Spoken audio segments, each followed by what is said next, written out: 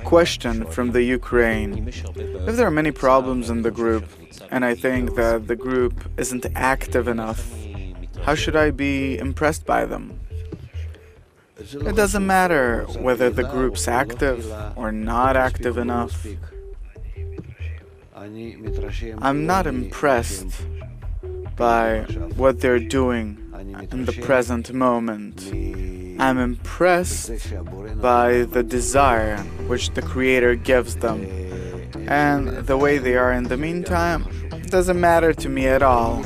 I connect to the internality of their desire. You have to understand this. The internality of the desire that inside there is the Creator that turns them and ticks them. Maybe they themselves have petty arguments and foolish calculations, but it's not about that.